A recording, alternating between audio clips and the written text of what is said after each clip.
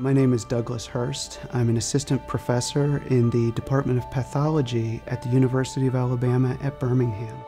Our lab is focused on understanding some of the molecular mechanisms for how breast cancer spreads, which is called metastasis.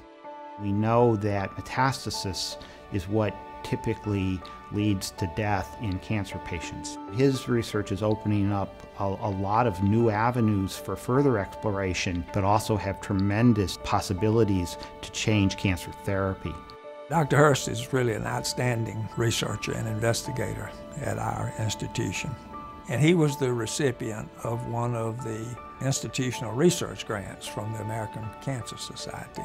What we've done with that grant is we've started to understand some of the complexes are metastasis promoting complexes, and some of them are metastasis inhibiting complexes. If we can understand what it is about the compound he studies, then we may be able to actually block the metastatic process.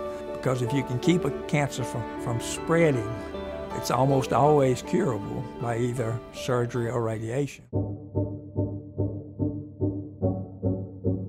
Patients fare much better these days than what they did 20 years ago. And in fact, the overall death rate for breast cancer patients is declining.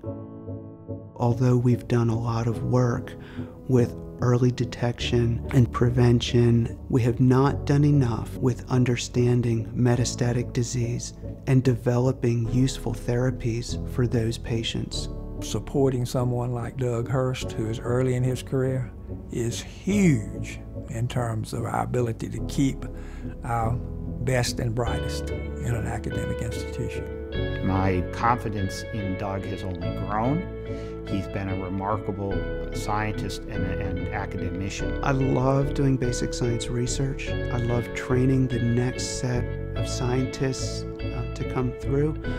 And I'd like to think that some of what we do might be useful to cancer patients.